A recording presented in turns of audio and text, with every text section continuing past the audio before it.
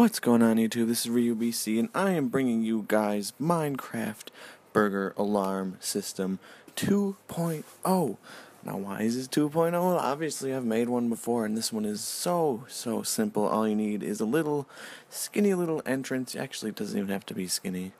All you need is this entrance for your house and you need tripwire uh, hooked up very very close to the door this will make it undetectable for your enemies, probably your friends actually, because that's who you're going to want to be preventing, I guess, from entering your house. But all you need to do is wire up a little bit of tripwire, set up some redstone, um, and then put a repeater, or not a repeater, a dispenser, facing straight up towards the sky, and load this with fireworks. Now, once this has been done, you will be able to hear when someone is entering your house once you got a bunch of fireworks, obviously in the dispenser, from a good distance. And the problem with our first burglar, burglar alarm system is that it only worked when you were inside your house. But now you can hear this anywhere from outside your house. And in fact, you could wire up the first one to this as well and make it a double alarm system where you can hear it from inside and outside your house. So that's pretty much all, guys. Thanks for watching. Remember, all you need to do to make fireworks is you need paper and gunpowder. I really think that's it. So